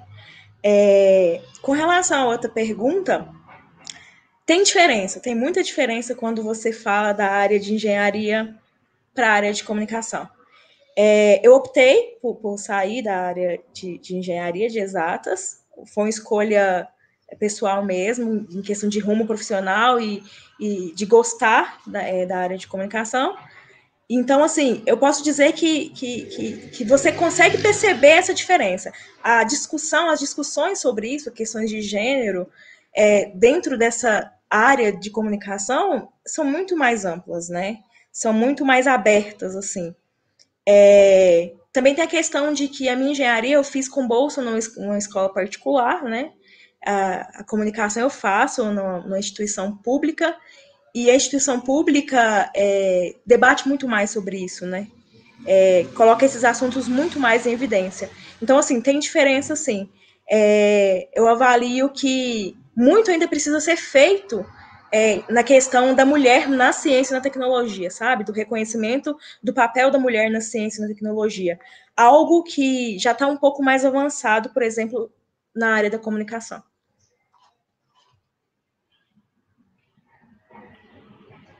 Legal, Cris. Bacana a gente ver essa outra realidade também, né? Essa experiência que você tem nas duas áreas. É, é, o seguinte, a gente tem uma próxima pergunta, que ela vem do professor Manuel de Jesus, tá? professor lá da UTFPR, é endereçada à professora Rita. Ele pergunta o seguinte, é, professora Rita, com relação às ideias de embranquecimento da população brasileira, a senhora se referiu a 1985. A senhora poderia falar mais a respeito dessa hipótese se ainda existem ideias com foco no embranquecimento da população na contemporaneidade? É, Manuel, na verdade eu errei essa data, né? Eu pulei aí 100 anos. Na verdade, essa, essa, esse olho em tela do, que eu mostrei para vocês, é, da redenção de Cana, é de 1895, tá? Essa ideia do embranquecimento da nossa população foi uma ideia que perpassou pelo mundo todo, tá? Não foi só aqui no Brasil, né? É aquela ideia de uma raça perfeita, do, do homem ideal. Então, o homem branco ele é um homem que tem o ideal de beleza, ele é um homem inteligente, ele é um homem, enfim, ele é o, o top das galáxias, né? Então vamos colocar, vamos moldar a humanidade toda em, em relação é, a isso. E isso aconteceu, na verdade, foi na segunda metade da, do século XIX, o começo da primeira metade do século XX. Então, basicamente, eu errei na data, tá? As datas corretas são essas. E nós tivemos alguns, tá, alguns médicos e antropólogos no Brasil que é, apoiaram essa ideia no Brasil, mas aí depois, depois, essa ideia, na verdade, ela se perpetuou durante muito tempo, tá? É, dessa, desse ideal de beleza. Ele caiu por terra de fato depois da Segunda Guerra Mundial, tá? Que é bem recente, Segunda Guerra Mundial ali, 1930, 45, né? É, então, ele, ela terminou, que aí nessa época a ONU né, organizações das Nações Unidas, eles começaram a promover a uh, diversidades, palestras, mo mostrar riquezas de diferentes países, né, e como é o mundo, né, ninguém vai mudar isso, né, e basicamente foi isso. Então, de fato, é, é a, a, data tá foi errada. Mas, é, mas quando a gente pensa um pouco na nossa é, nesse racismo estrutural, eu já ouvi, né, como a minha família é negra, né, minha família é muito grande, nós somos oito irmãos, né? Então, eu tenho muitos cunhados, né? Enfim. Eu já ouvi muitos comentários assim, como quem diz, é, nossa, você, fulano, né, casou com uma pessoa branca, os filhos vão nascer um pouco mais claros que o fulano, comparando, né, os irmãos. Isso é uma, uma fala que eu escuto muito. Às vezes dentro da família e às vezes fora, em famílias de pessoas negras. A impressão que dá é que se o seu filho for um pouco mais claro, ele vai ser mais bonito, né? Mas, ao mesmo tempo, a gente tem que pensar no seguinte, no seguinte aspecto. Eu não encaro isso como, um, como uma crítica direta, mas eu encaro como, é, como um alívio. Né? Meu filho vai ser um pouco mais branco, meu filho ele vai, ele vai passar por um processo de embranquecimento e o racismo que ele vai enfrentar vai ser um pouco menor. Eu, eu acho que a gente tem essas duas vertentes, não é simplesmente, ah, o embranquecimento apenas pela beleza, o branco é mais bonito, mas não, existe também essa questão, essa proteção, né? Os filhos vão ficando mais claros e essa questão do, do racismo vai diminuindo. Penso eu, né? Eu acho que isso é, é uma coisa que acontece, sim, na sociedade, na, nas comunidades negras do nosso país. Obrigada, professora. É, inclusive, ele respondeu aqui, ah, professora, obrigada pela, obrigada, esclarecido agora. É, a próxima pergunta é endereçada à Agatha, e ela diz o seguinte, é, como você avalia o papel do Estado na questão da inclusão de meninas e mulheres negras na tecnologia, visto que há poucas políticas públicas consolidadas e a maioria das iniciativas, como o Preta o Programaria, por exemplo, não provém do Estado? É, o papel do Estado é quase nulo, né? Na verdade, a gente, como, como é, foi relatado na própria pergunta, a gente não vê muito o Estado é, é, incentivando isso, né? A gente vê muito mais políticas privadas de incentivo do que políticas públicas. E isso não só para as mulheres na tecnologia, né? Essa realidade aí é para os negros no geral. Né? Infelizmente, a gente ainda está aí é, vivendo muitas vezes à margem da sociedade e, e, e não sendo incluído nesse, nesse, nesse papel aí de, de realmente é, é, alguém ativo, né? Alguém que faz, que, que, que corre atrás, que está ali, que estuda, enfim.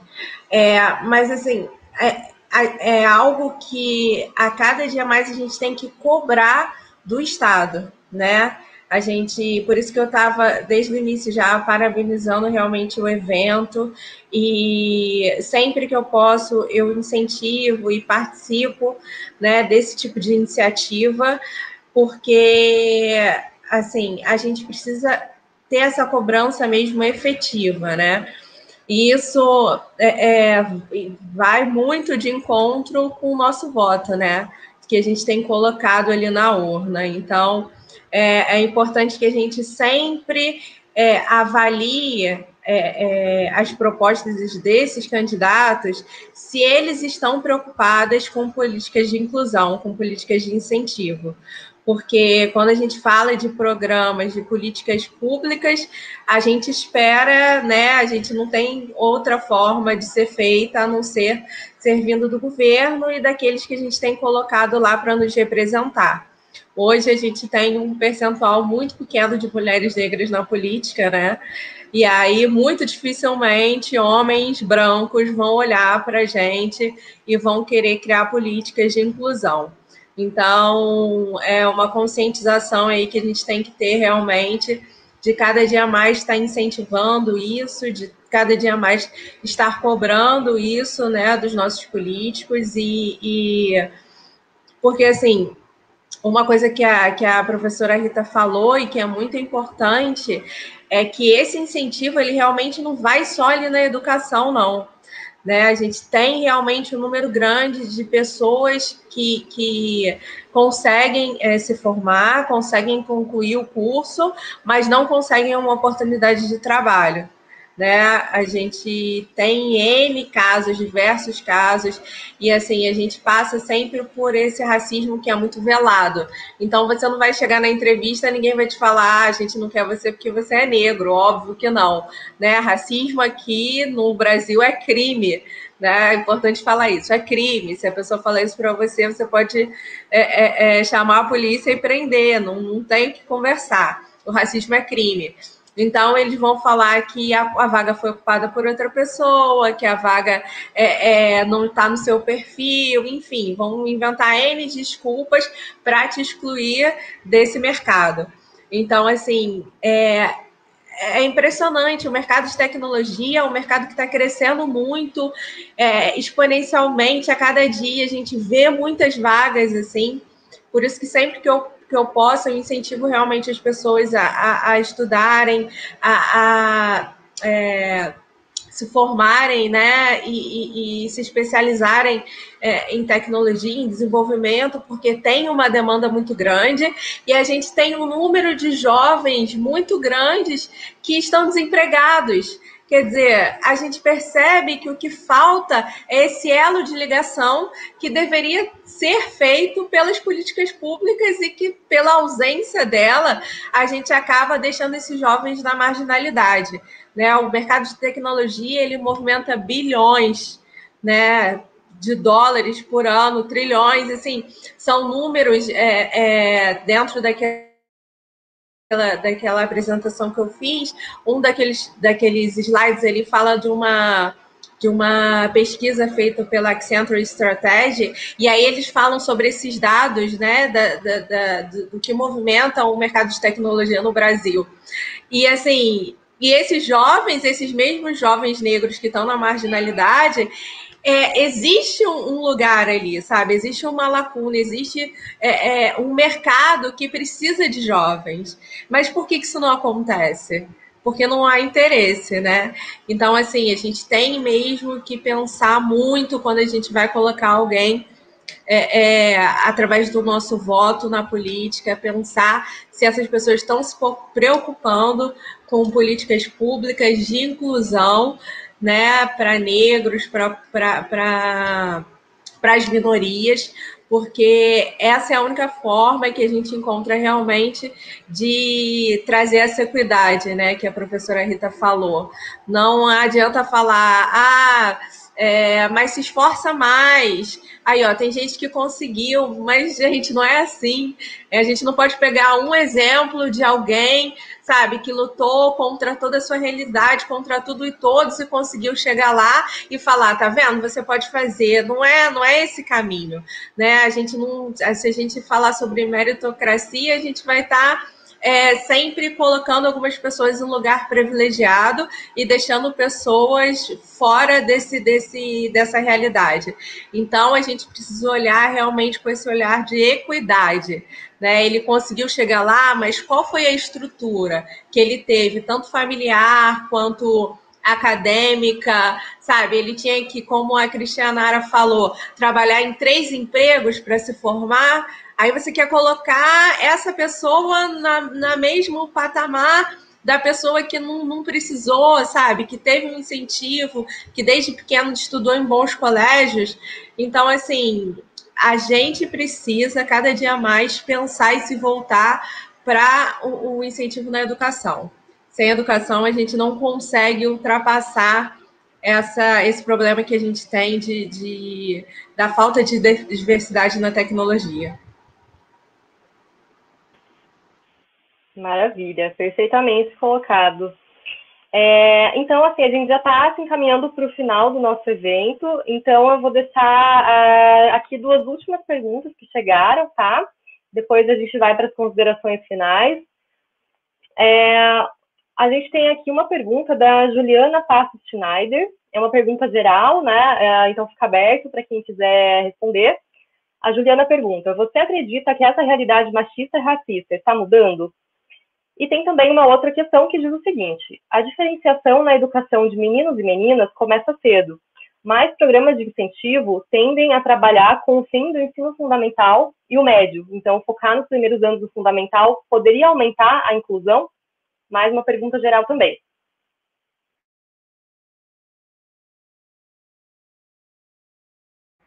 Ô, Thaís, é, por gentileza, você volta na primeira? Não tenho memória fotográfica. Esqueci a primeira. É, a primeira é da Juliana, ah, ela diz assim: uhum. você, você, não é uma casa para todas, vocês acreditam que essa realidade machista e racista está mudando?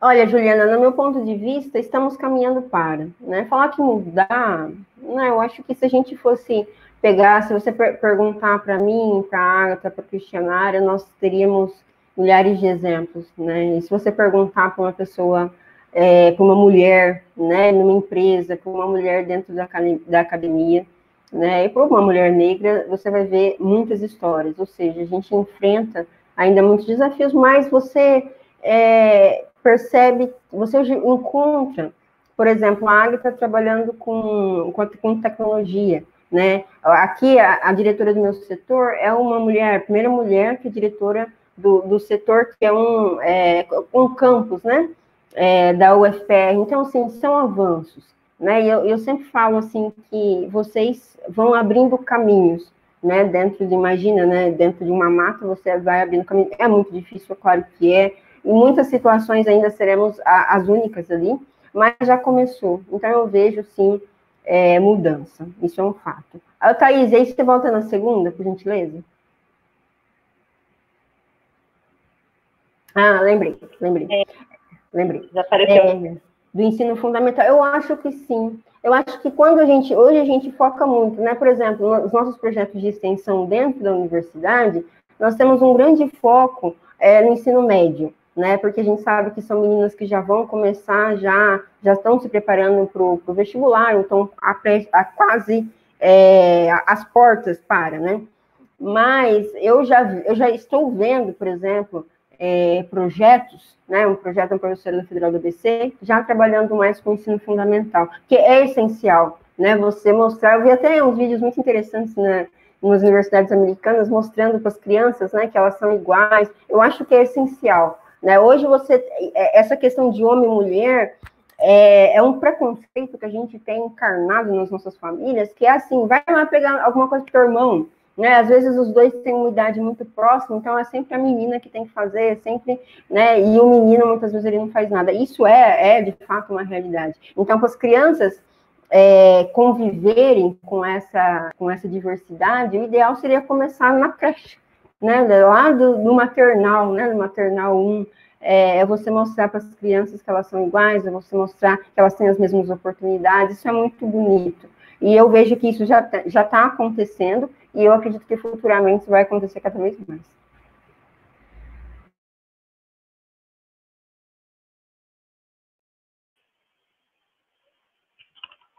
É, meninos, essas são as últimas perguntas. A gente já não tem mais tempo, né? Até tinha algumas, algumas perguntas aqui que chegaram, mas o tempo passou super rápido. É, o debate realmente foi muito bom, né? A gente fica assim, muito feliz com a presença de vocês. Então, é, nesse momento, eu vou pedir para que é, nossos convidados façam o encerramento, as considerações finais, né? Então, é, vou convidá-las na, na ordem da apresentação. Então, primeiramente, a professora Rita, para fazer suas considerações. Na sequência, a Agatha e, por fim, a Cris, para daí a gente encerrar. Ué, minha consideração final vai ser bem rápida. Eu queria agradecer novamente é, pelo evento, esse evento muito abrangente, né, que a gente tem a oportunidade de discutir coisas pontuais, a gente tem a oportunidade de falar com a população o que tem dado certo, o que não tem dado certo, né? Isso é muito legal, isso é muito bacana. Acho que a Agatha, ela, ela apontou algo muito importante, que é a questão política. Não adianta, né, a gente discutir, discutir, discutir, aí a pessoa que entrar lá, ele não tivesse contato conosco ou não nos escutar nunca. Acho que a política, ela perpassa tudo que que a gente disse aqui, né? Só faz sentido a partir disso, né? É uma política de fato pública. Então, eu agradeço é, com imenso carinho essa oportunidade. É sempre bom a gente falar da nossa realidade, é sempre bom a gente falar do que a gente passa, do que a gente vive. Desejo super sucesso para o PET, políticas, políticas públicas, que vocês continuem desenvolvendo essas atividades tão, tão relevantes para a formação é, dos nossos alunos, mas também é, para a formação da nossa comunidade. A nossa, a nossa sociedade brasileira hoje, quase 40%, isso é uma estatística recente, tá? Feita pela, pela Universidade da Inglaterra, que quase 40%, 36% da nossa população brasileira não acredita na ciência. Ou seja, isso significa que grande parte da nossa população, ela não tem um contato conosco, né? Porque não, não acreditar em ciência é justamente isso, não tem um contato com o que nós fazemos, com a ciência que nós fazemos e produzimos. Então, essas, eu acho que a pandemia trouxe é, essa realidade, a gente se readaptou no sentido de aula, né, no sentido de evento, e hoje, por exemplo, o PET, o, o, esse evento em frente, essa segunda edição, estaria acontecendo na UT, algo muito fechado. Hoje é algo que qualquer pessoa pode assistir, eu mandei um link, né, para os meus familiares lá do interior de São Paulo, então veja a dimensão que isso chega. E as pessoas começam a escutar, e as, as pessoas começam a se alfabetizar na ciência. E é isso que a nossa população precisa. Então, eu parabenizo novamente o, o evento e agradeço com todo o coração a oportunidade. Obrigada, Thaís. Obrigada, companheiros.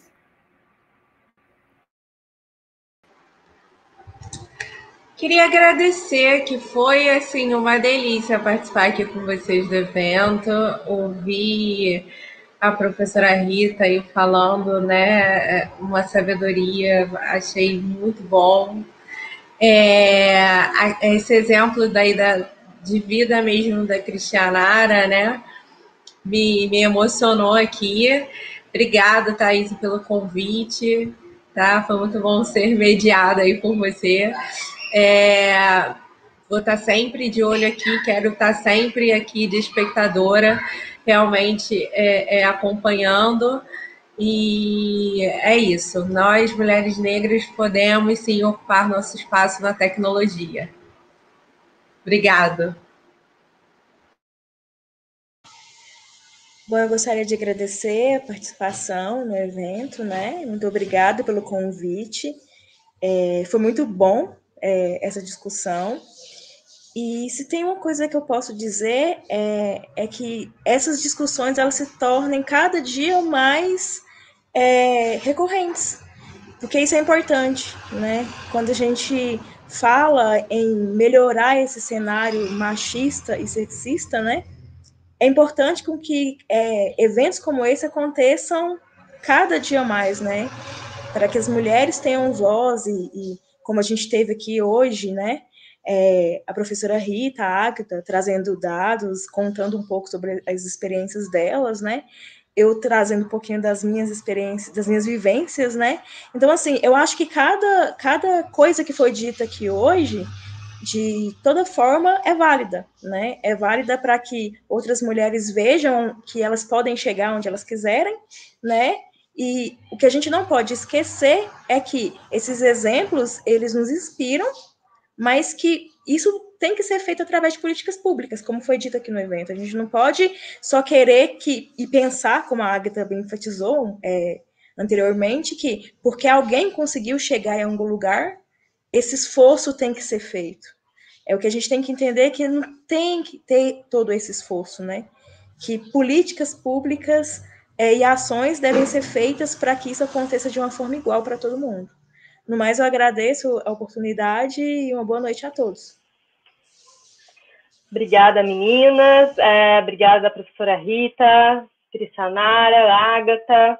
É, em nome do grupo, eu agradeço a todos e todas que prestigiaram esse painel, agradeço muito mesmo as nossas convidadas que compartilharam as experiências com a gente. É um orgulho imenso a gente receber mulheres tão incríveis para conversar com a gente. É, espero que a gente possa ter oportunidades futuras de estarmos juntos presencialmente, é, mas a vantagem do online também é a gente poder trazer a professora Rita lá de Palotina, a Agatha do Rio de Janeiro, então, valeu, foi super bom, né? Vamos compartilhar aí com as nossas amigas, nossos amigos. É, esses encontros, tanto de hoje quanto de ontem, eles nos inspiram a continuar nessa luta, ou melhor, nas lutas, né? São várias lutas.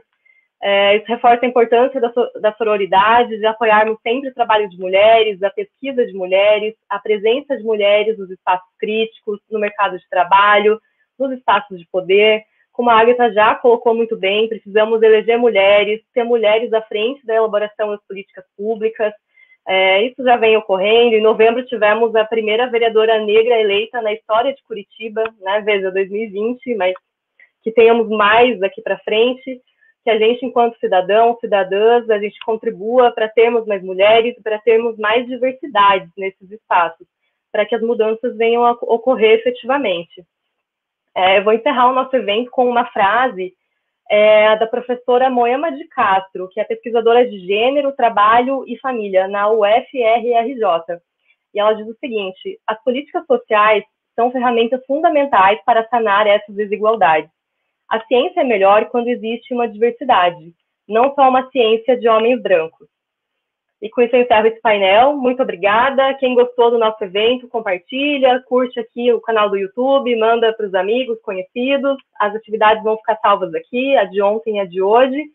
Novamente, apareçam lá no nosso Instagram, a exposição virtual ainda está rolando. Vamos conhecer mulheres na ciência e tecnologia. E por hoje é isso, gente. Muito obrigada.